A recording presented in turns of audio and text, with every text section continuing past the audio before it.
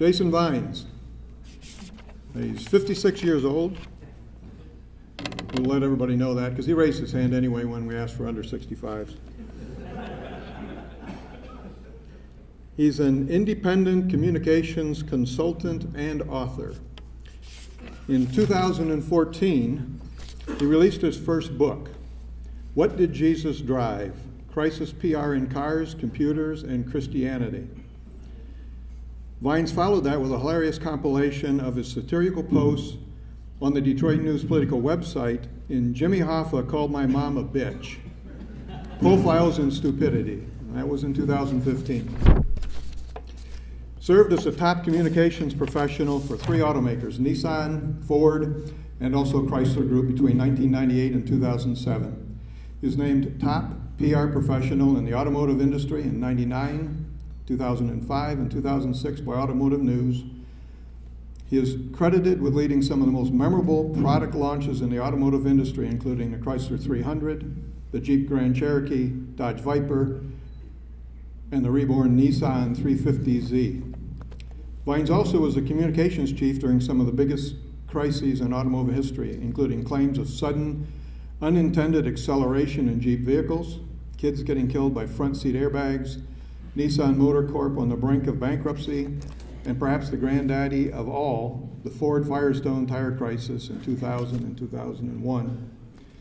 Vines is Director Emer- Emeritus of the Automotive Hall of Fame, an organization he served as chairman for two years, and one he hopes to be inducted into someday.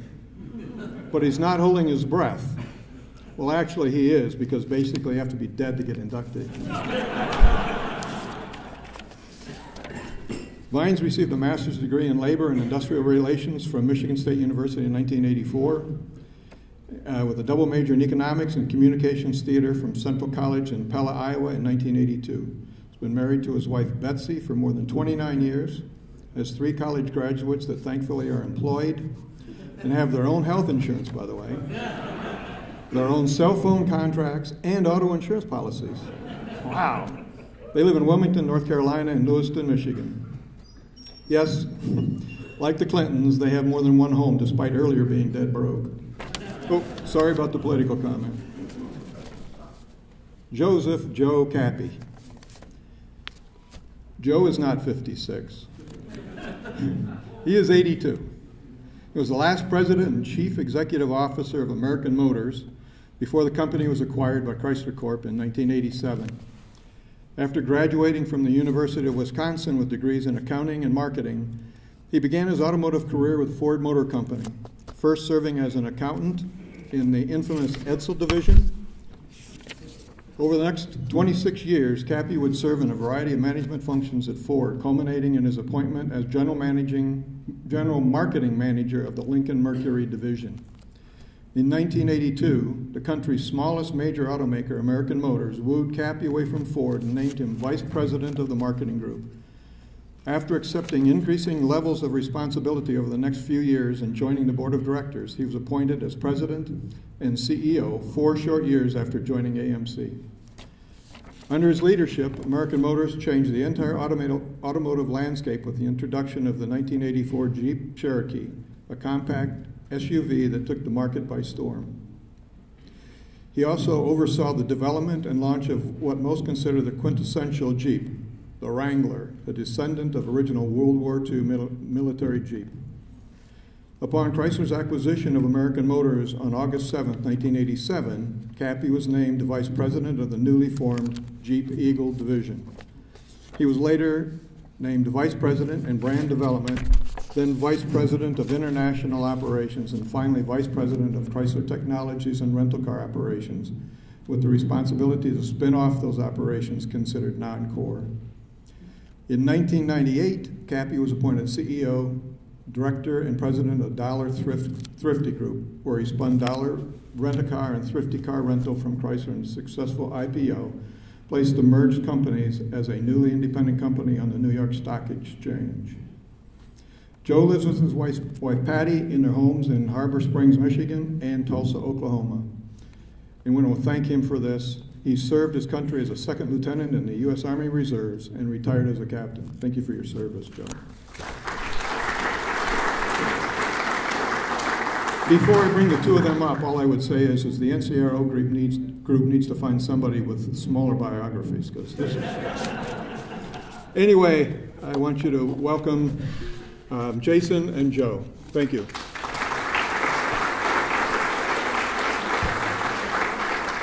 Thank, thanks, Dave. Um, it is a pleasure to be back here. Um, once again, I get to feel younger today because uh, I get to be. Can't hear me? Hear me now? I got the lav on. Is it working now? Better? Better? Okay. Uh, it's a pleasure to be back here. Um, and I get to feel young again because I get to be Joe Cappy's PR guy again. You still can't hear? Let's just use this mic. As I said, I get to be uh, Joe Cappy's PR guy again. Uh, I got into PR accidentally. I was actually being groomed to go into marketing to work for Ralph Cerati. I had been uh, Joe's uh, speechwriter for a few months, and I started working with Ralph. And when we were working on the Eagle division, one of the great success stories in the history of Chrysler. and the Friday before the Monday I was to join the marketing organization, I got a call from Steve Harris, who was the head of PR. Actually, I think he was number two at that time. Baron Bates was the head. And Steve, I'm, I'm, at home working on the lawn on a Friday, and he goes, uh, Hey, Jason, uh, Joe Cappy just called me, and uh, we just fired the Eagle PR guy, and Joe's wondering if you can go into PR instead of marketing. And I said, What's the difference? I soon learned, however, it, um, it started my PR career, for better or worse. And then another person that's in the audience that I brought along, my brother in law, Chris Theodore, had Jack Nasser hire me at Ford Motor Company as the head of PR, and a week after I started, the Firestone tire crisis started. So thank you very much, Chris Theodore. if you want to know anything about tires, I know everything there is to know about tires. But uh, I learned a lot along the way, and um, and this gave me a chance. And I'm going to tell you the story of how this book came together. How many people have already got a copy of this? Okay. Well, you'll know first of all that Joe Cappy is not his real name. It's Joe Capizzi. but like is all important in today's world, I have found decades old videotape of Joe Cappy. Now I got to warn you, it's graphic in nature. It's huge. So let's roll a videotape of Joe Cappy.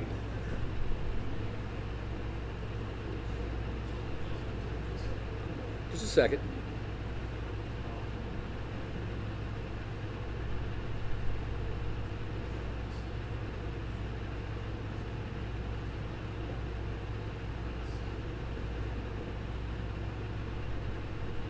Got sound? Any sound?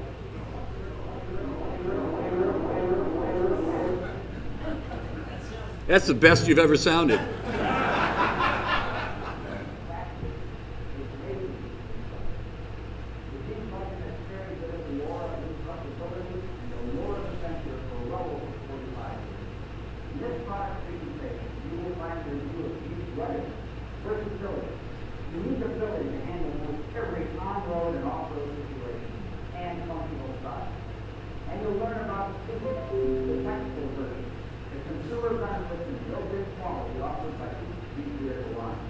Before we get into the presentation, let's pick up a few of the remarks regarding these made by Lee Iacocca as he addressed the two legal leaders at the national meeting in October 1987.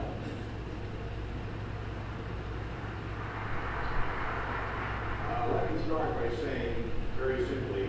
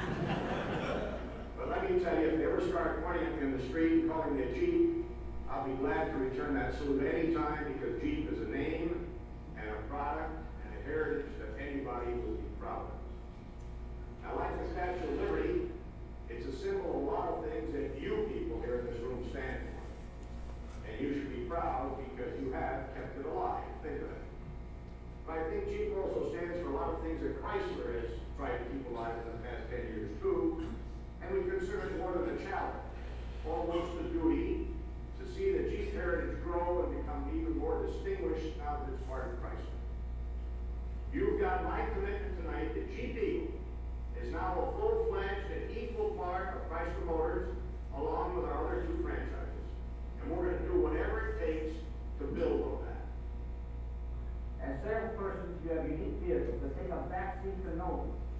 Which brings up another bit of fiction about Jeep. That is, the Jeep is so good, it sells itself. The fact is that Jeep is so good, it almost sells itself. As professionals, you know that it takes product knowledge and selling skills to bring the Jeep story to your customer.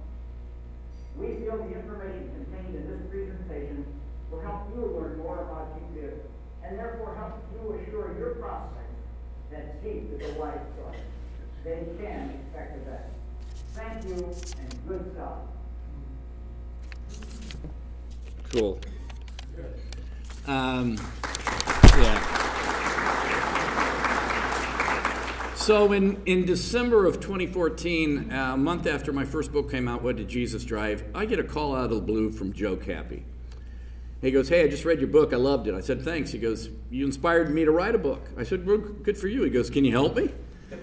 And I said, Sure. So last summer, I, uh, I drove over to his house with, with, with he and Patty um, and, in Harbor Springs.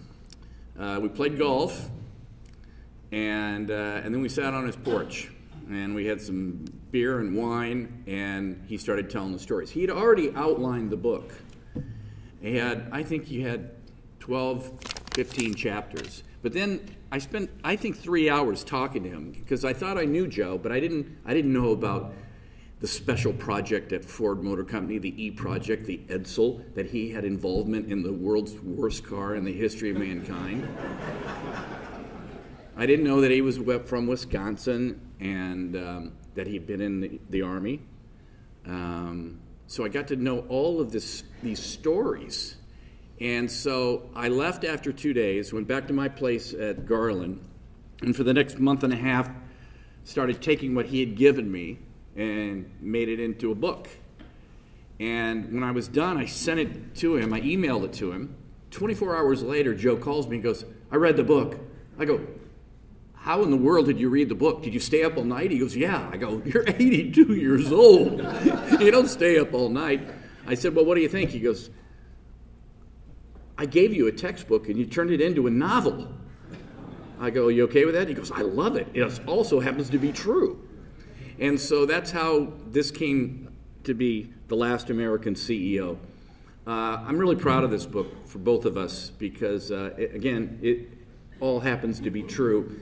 But it does read somewhat like a spy thriller because Renault had pulled away from negotiating with Chrysler for the sale of American Motors. Uh, the chairman didn't want to, of Renault did not want to sell the company because he needed a foothold. And just a few weeks after the talks had stopped, Georges Besse had, was chauffeured every day from Renault headquarters to his home in Paris. And his daughter would look out the window and wait for him to arrive in his chauffeur driven vehicle. And on that particular day, he got out and got on the sidewalk heading towards his front door, and two women were pushing a baby buggy down the sidewalk. And as they got closer to him, they reached in and pulled out guns and shot him in the chest and then stood over him and shot him in the head and killed him. It was a mafia style hit, but it was from the Red Faction and an anarchist uh, terrorist group uh, that was going around Europe. Well, a few weeks or months later, I think weeks, the talks were back on led by uh, Steve Miller, Ben Bidwell, at Iacocca's request. Uh, and we'll talk when I get into the Q&A with, with Joe about uh, how that came to be and how Jeep primarily came into the Chrysler fold and, in, in, in my opinion, in the book, saved Chrysler three times. Um, and today. So uh, yeah, it is to me the most iconic brand in, in the auto industry, and it will always will be. And, and a lot of that is due to Joe Cappy. Um, and so what I would like to do at this moment is bring up my friend, the guy that got me in this crazy business, and a, a mentor, and one of the best human beings I've ever known, Joe Capizzi.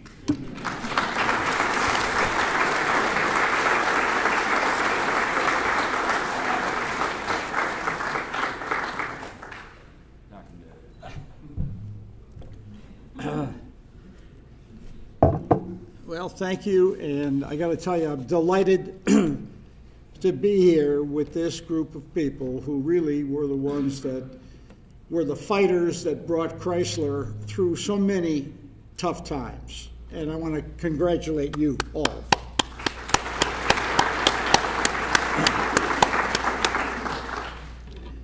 Now, Jason gave you his version of, of how he got this job in PR. And, uh, well, there's a, a little, so little different when you hear it from me, and I'm the one that had to make the decision. You see, I had heard that Jason on weekends was going to the Comedy Castle and doing, you know, when it open mic night, he'd get up there and he'd tell these jokes that he thought were very funny. And I said, you know, I need some, you know, some joy in my life after what I had been through with this uh, Renault Chrysler secret deal. And plus, he could put some fun in some of my speeches. Well, the one time he tried, he claims that I screwed up the punchline, but I just think it wasn't funny, that's all. And, and you know, what, what did I see in this young guy? Well, he, he wasn't like a typical marketing guy. You know, the marketing guys, they exaggerate everything. you know, and, and they, they're the ones who uh, smoke the reefers and drink the Kool Aid. Yeah. I wanted somebody who had what I call the PR stuff, and that is to be always truthful, to always protect the customer, and be willing to take, be the messenger to bring the boss the bad news, and to take the bullet if he needed to. And that's what I saw in Jason. And uh, I figured he'd be terrific in PR. Little did I know that he'd end up being the PR head at three different auto companies. I mean, that is fantastic. Great.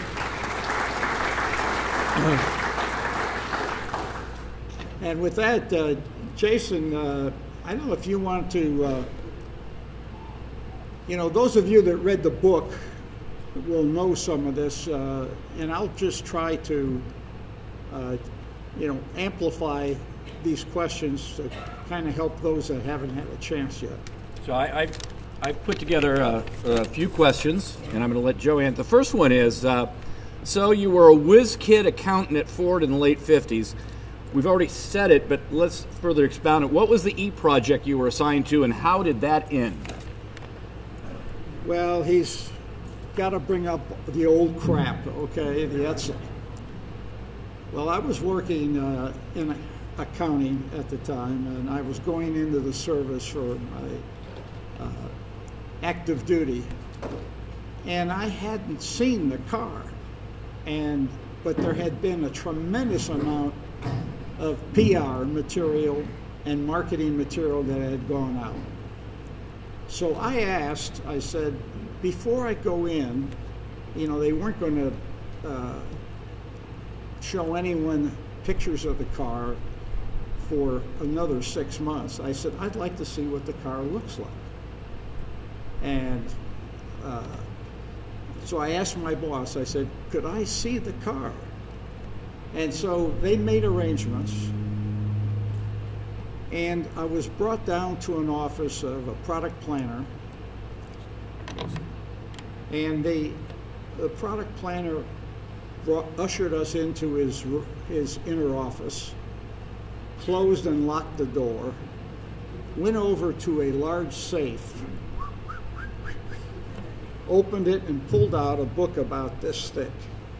And it was filled with photographs. And he sat me at the desk, at a table, with the book in front of me, and wouldn't let me open the book. He, he went on and started telling me all of the things that were so great about the, the car that became the Edsel. And I listened to all of this, and then he opened the book. And staring at me, face on, was the grill. now, what do you think you're supposed to say after this kind of a, you know, madam, your baby looks like a monkey?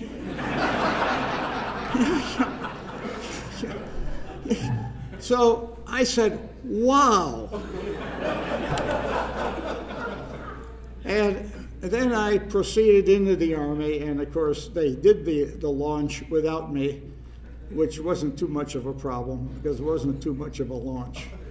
But uh, it didn't quite turn out well, and uh, that led me over to uh, eventually when they consolidated uh, the Edsel division into Lincoln and Mercury, and they called it MEL. Okay, so now let's fast forward a few years, and you're the new CEO of American Motors. And just within a couple weeks, your CFO, John Turney, comes to you and tells you what? Well, John came to me and he said, Joe, and, and literally, this is just probably less than a week after I took over, and he said, uh, We're going to run out of cash by the end of the year.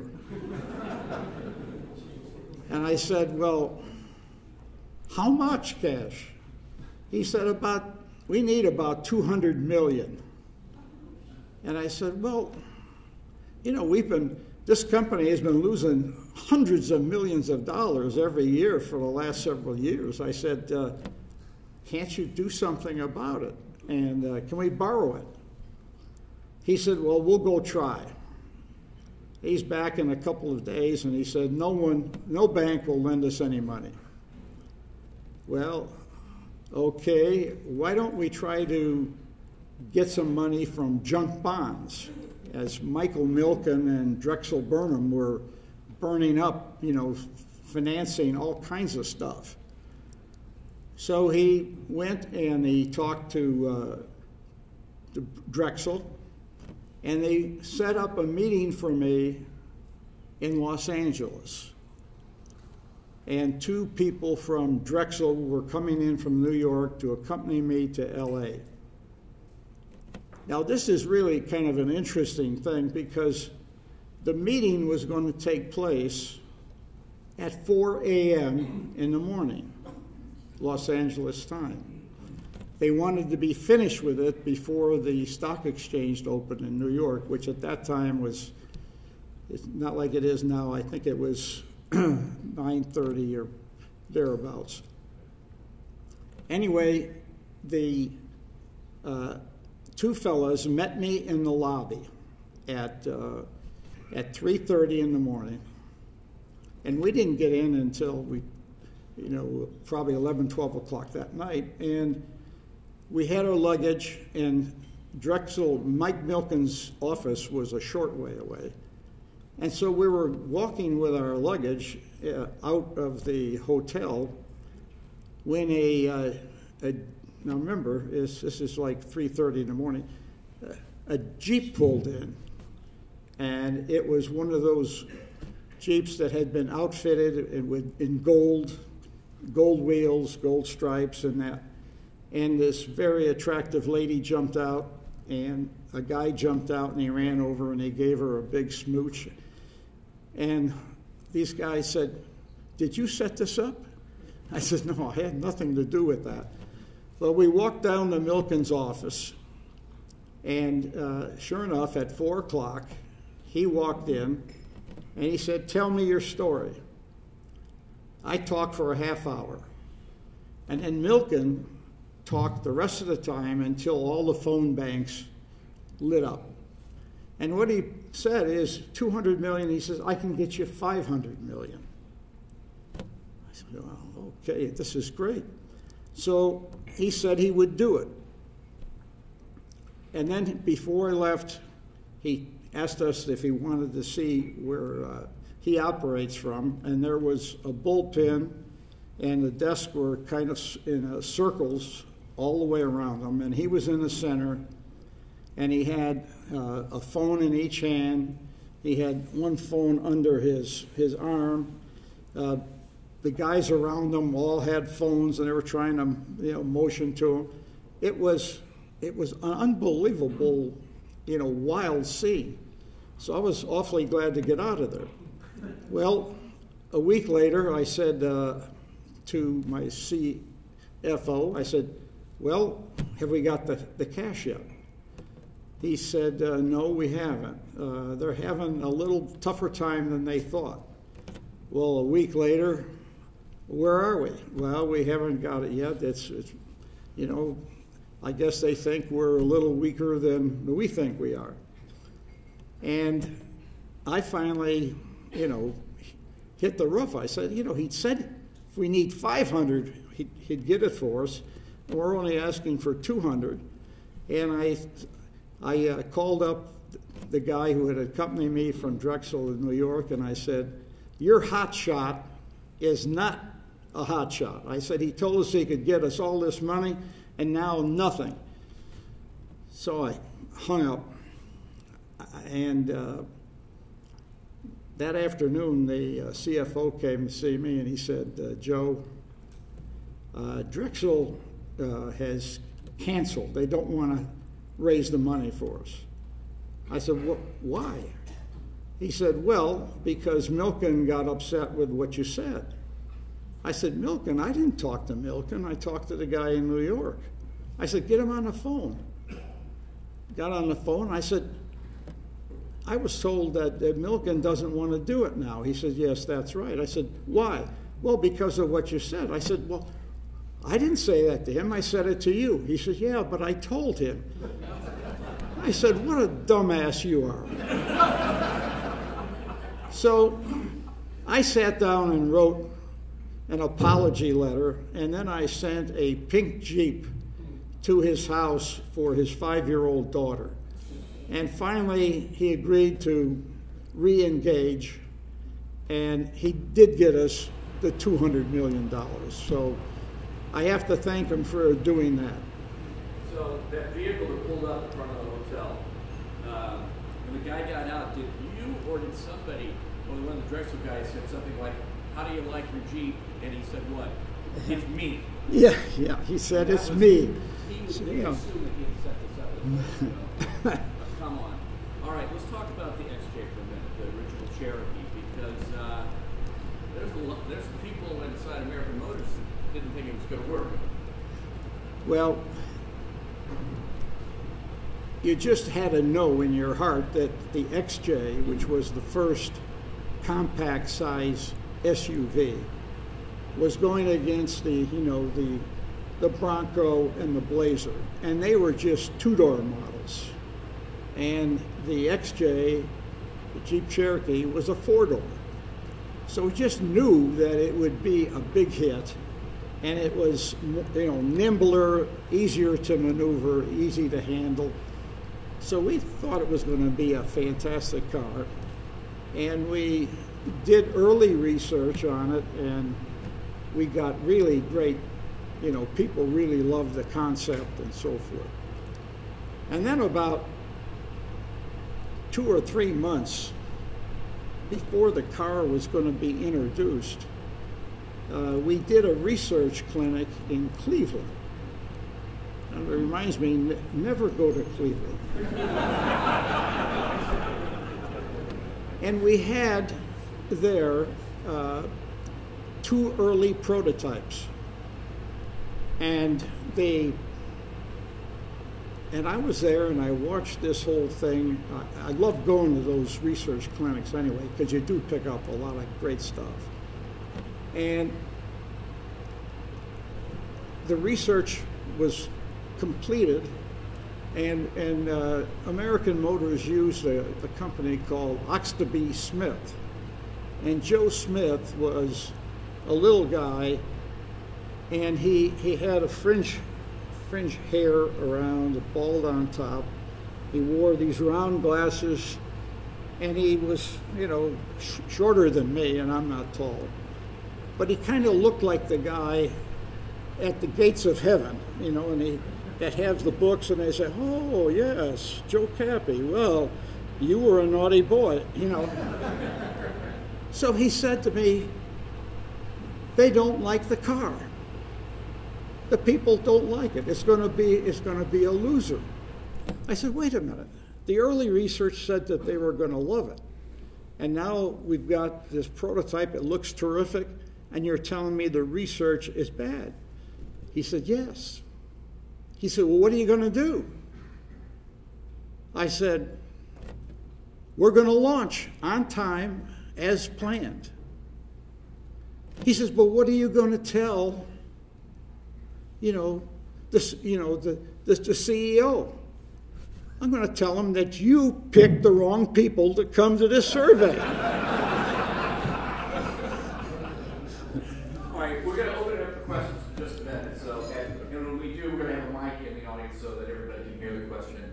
Um, one of my favorite stories in the book is about how you found out about the impending deal of Chrysler buying AMC from Ben Bidwell, and how you were hand-delivered, and how that delivery was almost botched. Well, I had worked for Ben Bidwell at Ford and, uh, and knew him well. And, and all of you who've ever heard him or been close to him, uh, he's got this fantastic wit, dry wit. And uh, I knew things were going on from different conversations that I had with, with my people and what they had heard. And so you, you knew something was happening. And but you just didn't know what what it was. And you just kind of said you know I, and, and the people from Renault, especially the guy that I reported to, who I had replaced, he would say nothing to me. He would tell me nothing. And so I called Bidwell. And Bidwell became my deep throat. He was, he said, Joe, can you come over to my house on Sunday at 11:30? He said, I'm going to keep a garage door open because I don't want to see your car in front of my house. anybody see your car in front of my house. Just pull in the garage and we'll shut the garage door. And I mean, it was that it was that secret. And then he uh, his wife Polly served coffee, and we sat in the living room, and he said, I will tell you everything that's going on. He said, but I want you to know that you can't say anything to anybody, and you have to promise me that. So I did. And then he told me all the things that had been going on and the work that had been going on for so long with, at, between Chrysler and Renault, and all of the stops and starts and so forth. So it was, it was really very fortunate that I had him as a source, but I really couldn't tell anybody, you know, in, in, at American Motors because I would break my promise to Bidwell. So it was something that was great. It was kind of like you know, Churchill, when they broke the German code, they knew where their where the with the radar and the breaking the, the code, they knew where the Germans were going to bomb, but they couldn't tell the people in that town because then the Germans would know they had broken the code. And so you're, you had this dilemma, and there was no good way to handle that when you've got that kind of a situation. You use it to your advantage and you wait till you think it's going to be really, you know, work out for you. And one thing I, I need to make sure you understand with this book Uh, what I tried to do here is to get different viewpoints of what was going on at this time.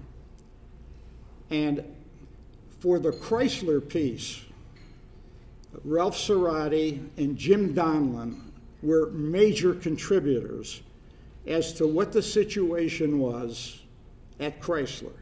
Everything from the strategy to the products that were coming, and all of that that talks about Chrysler's at strengths and weaknesses at that time came from those two guys. And then I did the same thing with the Renault people. And then for, for the American Motors piece, I used different management people that I called to get information and stories from. And, and that's, a, that's a very important thing. And, uh, and I've got to tell you another story about market research. And that was in the book, I tell the story about the ZJ, today's Grand Cherokee. And we had it on the boards as a replacement. But as we started developing that vehicle, it clearly was going to be an additional vehicle, and we could take the, the XJ and price position that below and have the ZJ over that and it was very important, and we had the, the vehicle was ready to be launched. However, Chrysler found a, a problem. They had this nest with a bunch of birds that needed worms, and they didn't have enough worms. And so a big brouhaha came up as to whether you give money to Dodge to build an SUV or you build the Jeep ZJ. And there was this big meeting that took place with Lee Iacocca and his executive committee. And I had to make a presentation for the ZJ, and uh, Ron Boltz had to make a presentation for, for Dodge. And then they, they uh, many of you probably know Dave Bostwick, and Dave is the opposite of Joe, Joe Smith. Dave is big, tall, and good looking, but he ended up saying we shouldn't do an SUV because the minivan market is going to continue to explode and the SUV market is going to shrink. Well, he was wrong on that point. Fortunately, Iacocca ended up choosing the ZJ, and as uh, Jason has said, it has saved Chrysler and has and has saved American Motors, and uh, it's now saving FCA. Yeah.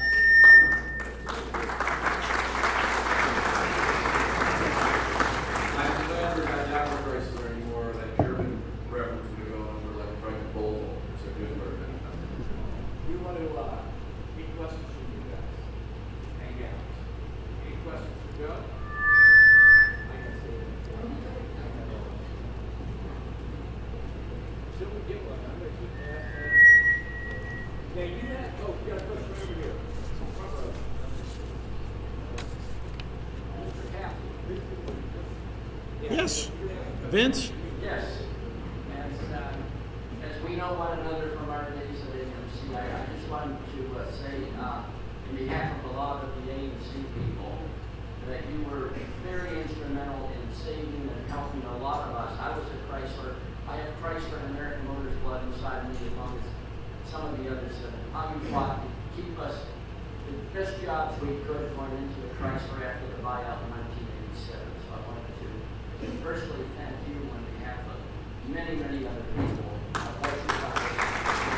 very generous of you. Thank you. we, we, talk about that in the book, and, and if you could expound upon that, you were in charge of integration. Well, you know, you've there are certain things that took place that are still going on every day in the business world, and these are mergers and acquisitions. And there's every time they do, they say, well, there's a gigantic savings. Uh, there's going to be synergy, and there's going to be we're going to make save all this money because we're going to do all this consolidation and so forth. The number one important thing is to integrate as quickly as possible. And that was something that Lee Iacocca was very strong about getting done. And Jerry Greenwald uh, asked me to be the integration guy. And what that meant is that you had to go in to American Motors in detail. Every section, every unit, every department, and you had to put a line down as to everything that they did there and the budget that they had for that particular item. Then that had to be taken over to Chrysler and you had to find out where at Chrysler this will be absorbed and have the person in charge of that area agree to take on that responsibility. And that is really a big job. I probably should have done that when I first went into the company. Uh, I would have learned a lot more about American Motors. I learned about more of it later uh, at that time.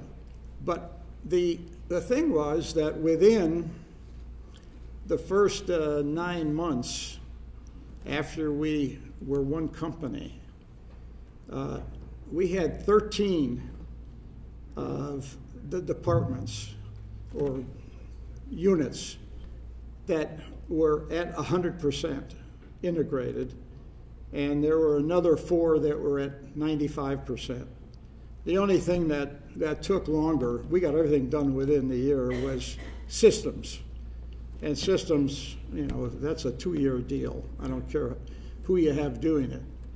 But uh, that's, that's the important thing. That's where you really get benefits. And most of these companies have no idea how they're going to operate, you know, once the merger happens it's almost like somebody saying uh, George W. Bush shouldn't have invaded Iraq unless he knew how he's going to run it afterwards. And, and that's the thing. We, everybody thought, you know, they're going to be throwing rose petals and everything will run like it used to. It doesn't happen. And it won't happen between two different companies that have got different cultures, different systems, you know, just a, a completely hard thing to make happen. And I think that's where, where we ended up getting a, a real good head start in the way we did it. Anybody else have a question? give me a second. And Joe, before we get out of here, I want to, uh, I want you to tell the story of 9-11 and how that impacted where you were at the time. And it's a fascinating story that is in the book. Joe, I was in the field when the, the merger took place in the Detroit zone. It goes without saying that the Eagle uh, never got off the ground. And uh, the, the brand Eagle uh, never got off the ground the way it was expected to. Uh, is there something that you would do different, that you would recommend that we would have done different? And I guess talk a little bit about how difficult it is to launch a brand new brand in the marketplace. Well, I've got the expert sitting in front of me. Uh, Ralph Cerati was the general manager for for Eagle, but it was it was the case of that bird nest with too many birds and not enough food. Chrysler couldn't afford to advertise and merchandise the car. And what car did we have? You know, we, we had we didn't have a full car line.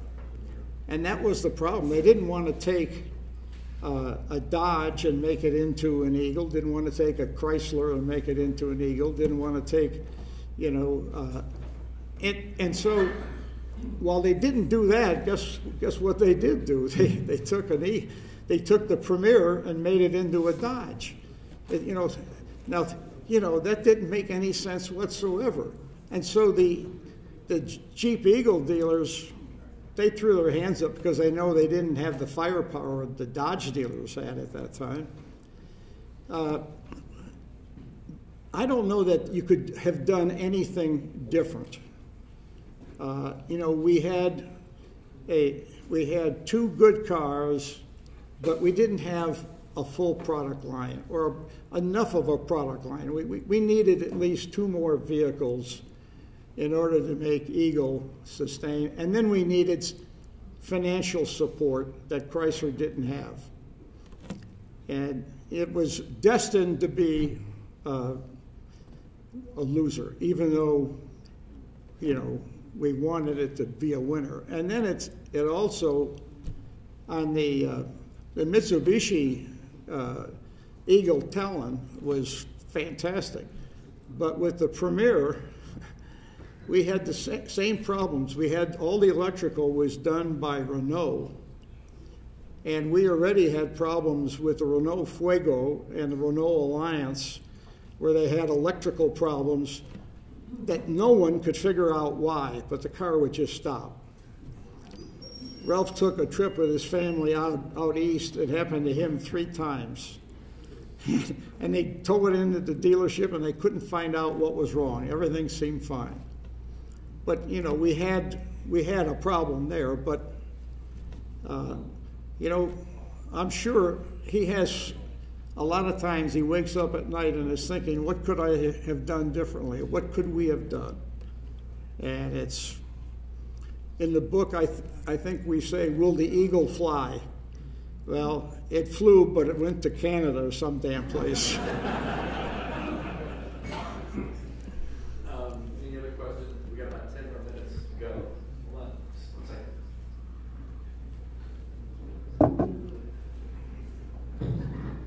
As the previous proud owner of the 58 inch citation convertible, I found it to be an amazing car.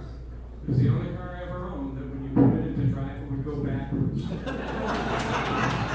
when, you, when you stepped on the gas heavily, it would the windshield squirts, which the people in the backseat did not appreciate. It would do all kinds of interesting things. Was Ford at least remotely aware of the trouble with this car before they launched it? Well, I'm going to just give you an example of, you know, they're, they're bringing back for, uh, I'm not sure if it's the end of 2017 or beginning of 2018, they're bringing back the Jeep Grand Wagoneer, which is the competitor to the Suburban and so forth. Well, we had that car at American Motors for 30 years. 30 years. And we had no money to put in it to fix problems that were there when the car was first introduced, when it was brand new. And what would happen is the customer would come in to the Jeep dealer and say, You know, I, I think I need to trade. Uh, tell me, uh, does it still have the dust leak in the back window? Uh, yes, it does. Uh, well, how about that water leak in the front vent window? Yeah, we still got that. well, what about around at, at the back door that you got that air noise? Yeah, yeah, we still got that. well, shit, just give me a brown one.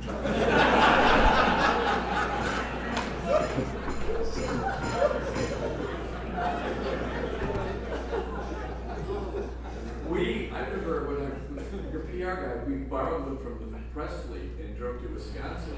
And the joke then got gas in that vehicle.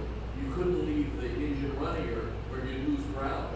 And we refueled it. I you were rolling, wrecked. But people, didn't half the people pay cash for that vehicle? Well, just about all of them did. And uh, you know, and if you go out east, you still see these vehicles. Uh, you know, they end up br- bringing them to their hunting camps and all that sort of thing. They, they never die. They never die. You never ordered a white, you, when you ordered a lease brand Pioneer, you never ordered a white one. You didn't dare order a white one because it wasn't sure. We have just a few minutes left. By the way, uh, we've got signed books outside that you can purchase. We're giving you a discount today. They're normally twenty-two ninety-five. We're selling it for twenty bucks. and uh, they're signed, and uh, so they're, they're completely that um, I want you to share, kind of end with a story that I found to be one of the most fascinating because I had no idea. You know, when we think about where you were, where we were at 9/11, and the, the catastrophe in New York and Washington and in, in, in Pennsylvania, and you think of the industries that were impacted. There was another industry that was impacted that Joe was running. And tell us the story of how at the rental car um, companies, how 9/11 impacted you, what you did to save your company.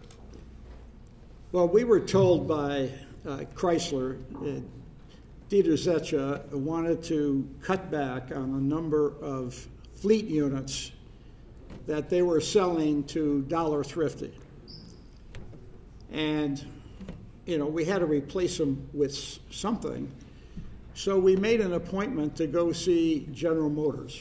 And we had an appointment with the, the head of General Motors uh, sales and marketing. And this was at the Ren Center. So uh, myself, uh, the CFO, and uh, the president of Dollar, the president of Thrifty, we flew up in a private plane that we chartered. Usually we travel southwest. And we landed, and uh, the next morning we were went up and had coffee in the concierge area, and somebody yelled out, and the first plane hit the the tower, and we we ran in to see what it was, and we watched the second plane hit. Well, our meeting was uh, at at 9:30, and it was just downstairs and then over to the GM tower. So we wanted to stay, but we beat it down because we didn't want to pass up the opportunity. And we got ushered into the vice president's office. And then we found out that he was on the phone and he looked, uh, he, he looked all just worried. And it turns out that he had two children that, uh, I say children, they were young, young adults uh, working in New York and both working at the Trade Center. Uh, a daughter and a son. And he couldn't reach them by cell phone. Plus, one of the captains of the fire department was his brother. So, you know, he had absolutely, you know, what am I doing with these rent-a-car people? Uh, you know, it was not a good time to to do anything with them. And so we excused ourselves. We said we understand the problem, and and we left. We went across the street to, uh, I think it was a bar, and we said, "Well, golly, uh, we're going to have some real repercussions here ourselves. What are we going to do?" So we put together a game plan, and the first thing was to. Uh, was to send out a message that there would be no price gouging with our customers. Whatever our prices were, they were going to stay that way. And it's a good thing we sent that out because there were people with $100 bills in their hands trying to get cars because they had grounded all air traffic. And unless you were living in the east where you could take a train, there's no way to get home if you didn't have a rental car. And so people that were going to turn in rental cars didn't. People who were trying to get them couldn't get any because nothing was being turned in. And then the people, after the second day, they took off to wherever they lived in the United States. People were driving from New York City to California, wherever. And those cars were dispersed all over the country. And it took literally months to track them all down and get them all back. And that was, uh, that was the case for uh, what I'd say uh, the entire industry. Now, the one thing that we did at Dollar Thrifty was we wanted and took action. We realized that the world had changed. You know, you, you may have read that, uh, that fellow's book, uh, Tipping Point, and usually he talks about small things that finally end up and, and you get a, a tipping point. This was a gigantic tipping point. And we knew what was going to happen. So what we did is immediately we we try, we're going to try to lower our fleet by 20%. We ended up, uh, top 45 executives took salary cuts.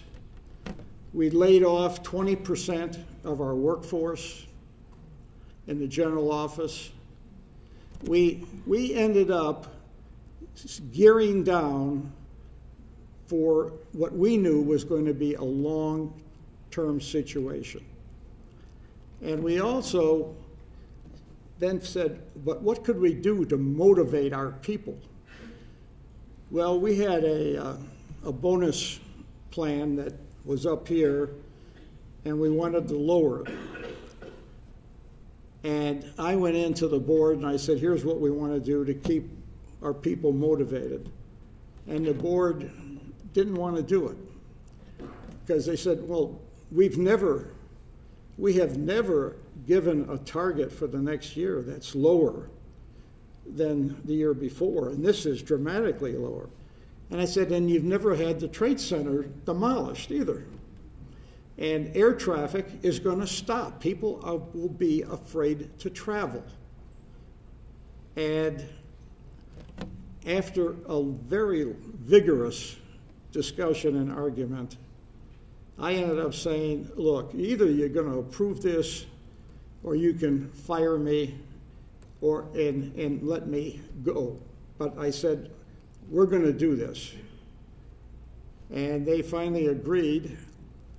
And Dollar Thrifty was the only rental car company that was profitable in the first quarter of the following year and was a leader in uh, return on sales for the whole year. And it's, it's like, uh, it's like George Patton.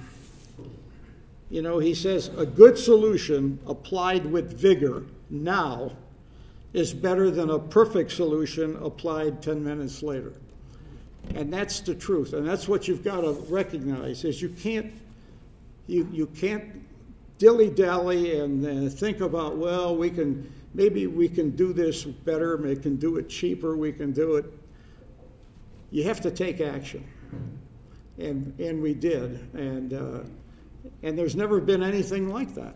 And so you couldn't measure against and say, well, the last time they knocked down the Trade Center, here's what happened. You know, so that was really uh, quite an experience. Ladies and gentlemen, Joe Gabbard.